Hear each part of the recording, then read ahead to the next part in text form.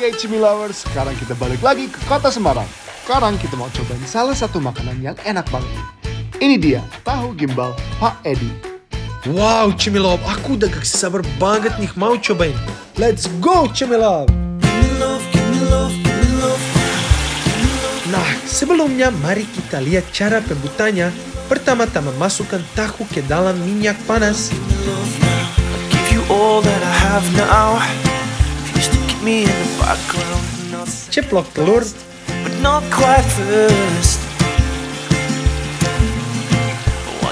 masukkan gimbal, goreng bersamaan, lalu tiriskan.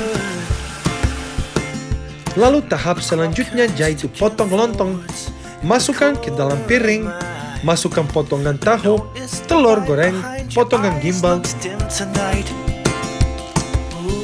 Irisan kol, irisan daun seledri, tuangkan saus kacang, beri sambal, siram kuah rempah-rempah, dan yang terakhir taburi bawang goreng. Wow, lihat deh Cemilov ini benar-benar menggandang selera makan banget. Aku udah gak sabar banget mau cobain tahu gimbal. Pak Edi yang terkenal ini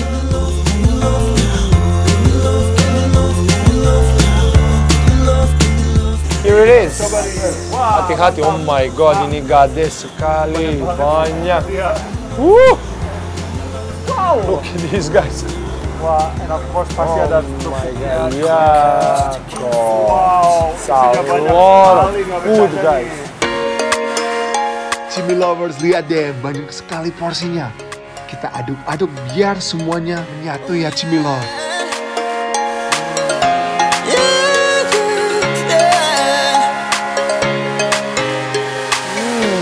Wuh, Cemilov, rasa saus kacangnya enak sekali. Lontongnya juga lembut.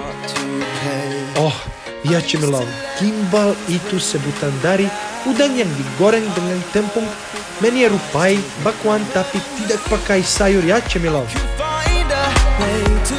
Ohuj. Krispi, kaçan, mani seriket, gorek, mm, Indonesia, Bangladesh.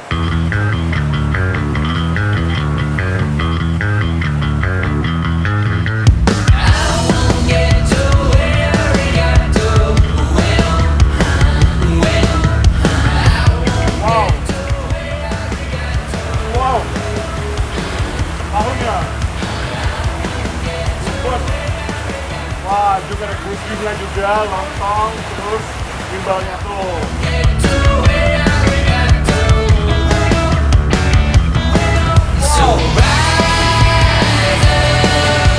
Oke, wow, cheers bro. Cheers. Cheers. Let's go. Lagi dimakan bersama dengan kerupuk ya. Cocok banget nih. Kalian yang lagi lapar Cimi Love. Kita kasih sambalnya yuk Cemilov. Permaduan yang sangat lezat.